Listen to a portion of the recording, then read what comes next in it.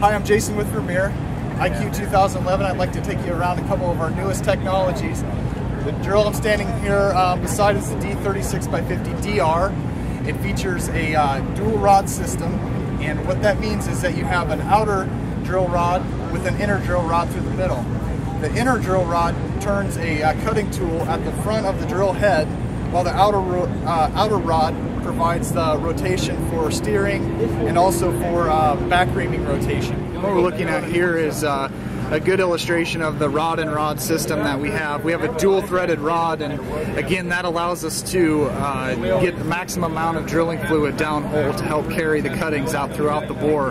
I'm now standing beside the D36x50R Series 2 and this features some of the latest technology in the industry. It has uh, what we have been calling the magnum drilling system. What this is is there is an apparatus within the carriage that has a, uh, magnets of opposing polarity.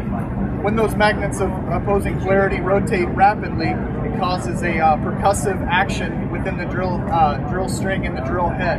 What that helps do does is uh, fracture the drill um, in the toughest conditions, helps fracture rock and other difficult formations that people encounter. We anticipate that they will be available in spring to 2012.